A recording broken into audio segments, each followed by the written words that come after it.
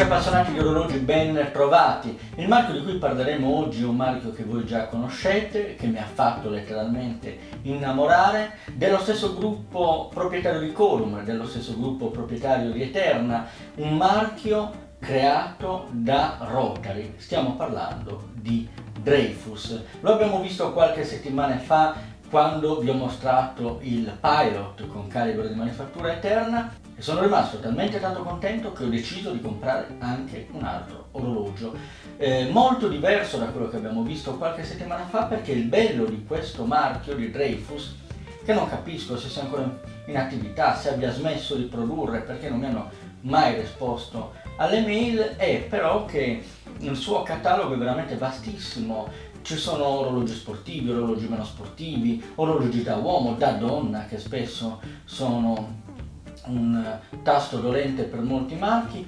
orologi che hanno un diametro che fa in modo che possano essere utilizzati da entrambi i generi e l'orologio di oggi non fa eccezione. Con i suoi 37 mm di diametro infatti può essere utilizzato sia dagli uomini che dalle donne. Eh, 37 mm che sono accompagnati da uno spessore ridicolo di 11 mm, soprattutto tenendo conto che questo orologio in camera ha un ETA 28-24. Il passo del cinturino è di 20 mm, ma su questo ci torneremo più tardi perché c'è una piccola criticità. L'orologio è sovrastato invece da una cupola di vetro zaffiro, a dire la verità non il vetro zaffiro più limpido che abbia mai provato, ma che lascia scorgere la vera particolarità di questo orologio e cioè un bellissimo quadrante color rame con finitura honeycomb nella parte centrale e nella parte esterna mentre è liscia la parte nella quale trova l'alloggiamento gli indici a bastone gli indici a bastone che sono eh, color argento, riflettenti, così come riflettenti sono le sfere che sono azzurrate. Questo orologio, lo dice il nome stesso, 1925, è un orologio che rievoca l'eleganza di quegli anni, quindi non poteva avere sfere e indici fluorescenti. A me questa cosa dispiace perché voi come sapete sono appassionato orologi con ampia leggibilità ma sono anche appassionato orologi che sono eh, anzitutto coerenti con se stessi, quindi capisco lo spirito per il quale Dreyfus non abbia inserito pigmenti luminosi.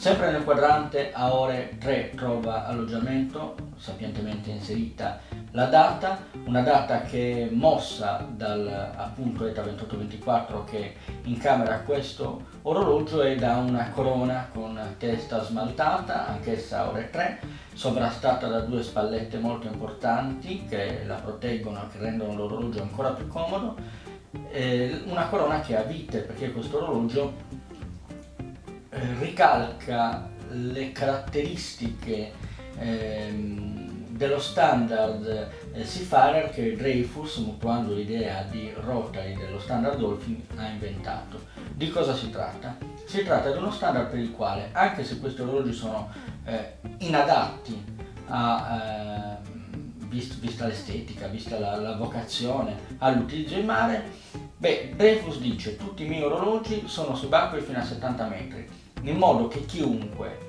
che sia per volontà, che sia per un incidente, che sia per qualsiasi cosa, possa continuare a utilizzarli e non tema di bagnarsi le mani piuttosto che di farsi una doccia, piuttosto che di finire rispetto per volontà o sbadattaggini o incidenti in acqua. Questi orologi sono impermeabili. Questo è quello che dice Dreyfus e questo concetto lo sintetizza con standard Seafarer.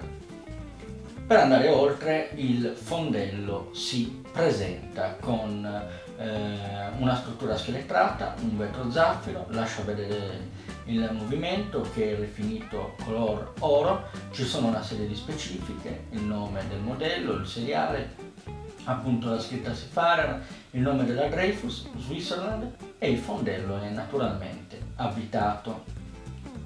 Andiamo a vedere invece il cinturino che si presenta con una struttura realizzata in pelle verniciata, tra l'altro un bellissimo colore. La criticità legata al cinturino è legata alla struttura della cassa perché nonostante le anse abbastanza lunghe Dreyfus ha deciso di praticare i fori per l'inserimento del cinturino troppo vicini alla cassa e così facendo ha anzitutto avuto bisogno dell'ausilio di anse curve, ma ha impedito agli utenti di poter montare qualsiasi tipo di cinturino o bracciale aftermarket. Ad esempio in questo orologio sarebbe stato perfetto un nato piuttosto che un bracciale mesh. Peccato, sono scelte. Il cinturino comunque è ottimamente realizzato e si conclude con una chiusura deployante a farfalla personalizzata da Dreyfus con addirittura il marchietto inciso nella parte centrale. Nulla è lasciato al caso, neanche il packaging che per quanto eh, con gli sconti attualmente sul mercato Dreyfus abbia deciso di declassare eliminando la classica eh, scatola in legno di radica che veniva utilizzata recentemente con eh, 5 alloggiamenti per orologi e che ha lasciato il posto a una scatola di cartone con una superficie eh, simil pelle che però è marchiata così come è marchiata la controscatola e all'interno della quale si trova il cuscino piuttosto che un libricino nel quale è raccontata la storia di Dreyfus eh, nel quale nella prima pagina è presente il faccione del signor Dreyfus e poi ci sono una serie di indicazioni per la garanzia, per gli standard eccetera. C'è anche un'etichetta di plastica che avevate già visto nel pilot e che nella parte posteriore lascia spazio al prezzo di cartellino e invece non c'è quella pergamena che avevamo trovato sul pilot e che probabilmente però era legata alla natura dell'edizione limitata. Al polso l'orologio si presenta assolutamente bene, vediamo se riesco a far mettere a fuoco. Come potete vedere sul mio polso da 17 cm e mezzo, i 37 mm di cassa sono perfettamente ben equilibrati ed anzi si presentano anche in maniera più importante rispetto a quella che ci saremmo aspettati. Questo perché come vi ho sempre spiegato la dimensione nominale delle casse non fa la vestibilità, L'orologio qua è privo di una ghiera rotante, eh, ha un ampio vetro, un ampio quadrante, questa situazione porta a far sì che l'orologio appaia più grande dei 37 mm che realmente lo compongano. Però la comodità è veramente assoluta, non c'è alcun effetto ghigliottina da parte della corona perché è assolutamente sovrastata oltre che arrotondata dalle spallette qui c'è una grande comodità. Bene, ma quindi io di questo orologio cosa penso? Ma anzitutto il marchio eh, per me è estremamente accattivante.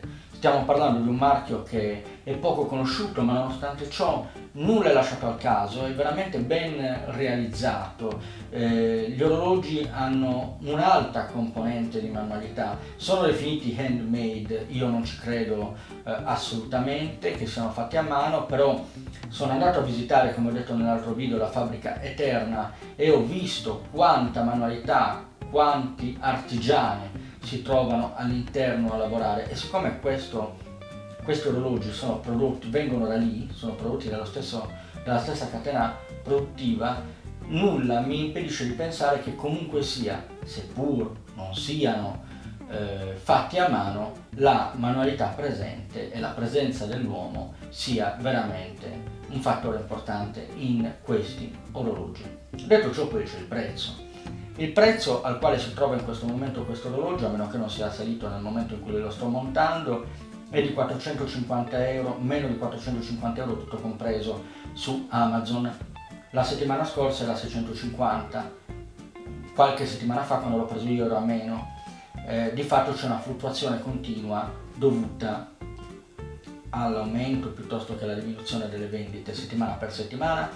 Posso però io dire che questo orologio sotto i 500 euro è sempre comprato bene. Le finiture eh, sono superiori a un Hamilton, giusto per fare un paragone, eh, lasciando perdere il discorso del calibro perché Hamilton ormai monta H10 con 80 ore di reserva di carica, eh, Dreyfus monta ETA 2824, ma al di là di questo le finiture complessive, cassa, quadrante, particolari sono veramente di altissimo livello. Inoltre l'orologio è veramente unico o comunque molto particolare nel proprio design e anche questo è un valore aggiunto non indifferente. Particolare come l'altro orologio che vedete in sovraimpressione che addirittura costa meno di 250 euro e che avevo consigliato di comprare a due amici che mi hanno dato retta e sono contentissimi. Qui c'è un errore nella descrizione del, eh, dell'inserzione Amazon, c'è scritto da donne, invece è un 36 mm, i miei due amici che l'hanno comprato sono eh, uomini e si trovano benissimo. Eh, ripeto, tutti orologi che presi al giusto prezzo regalano emozioni veramente importanti, senza tenere conto poi di un'ultima riflessione che faccio prima di salutarvi. Io mi ricordo di Quondam, eh, il famoso diver che poi con un gruppo di amici avevo personalizzato. Quondam per anni è stato un marchio che non si è filato nessuno, hanno sbagliato il, eh, hanno sbagliato il marketing, hanno sbagliato il prezzo di posizionamento iniziale ed è finito veramente per essere svenduto a prezzo di movimento. Adesso tutti lo cercano perché lo hanno scoperto. Ecco, mi rivolgo soprattutto ai collezionisti, non aspettate che succeda questo per Dreyfus, soprattutto per il Pilot, oltre che per questo con Calibro Eterna, che è una opportunità più unica che rara, tenendo conto che il solo calibro costa a listino più del, del prezzo dello street price al quale l'orologio stesso è venduto su un noto sito eBay inglese eh, in questo momento. Quando finirà, chissà. Bene, a termine di questa riflessione non ci rimane che salutarci e darci appuntamento alla prossima recensione.